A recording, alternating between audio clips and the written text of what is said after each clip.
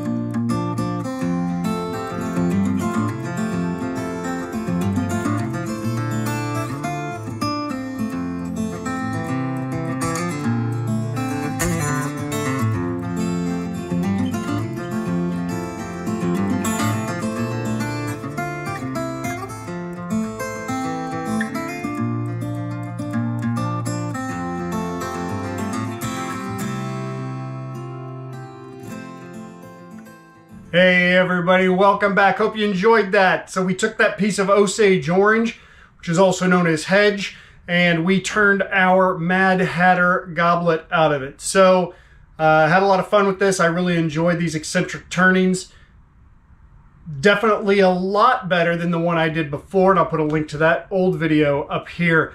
Uh, had a lot of fun with that one though, really enjoyed it and wanted to try it again. So this was a good opportunity, so thank you for the challenge. Uh, over at Tree Forge Woodworks, and I'll put a link to his channel right up here. Specifically, the link will be to that video. So definitely go check him out, see some of the cool stuff he's doing as well and uh, see what other groups come out with these off-center turnings as a result of that challenge. If you liked the video, give it a thumbs up. If you didn't like it, give it a thumbs down. Either way, leave comments, feedback down below. I certainly do appreciate it and use that to grow in my own journey. So thank you very much for your support, and we'll catch you all next time.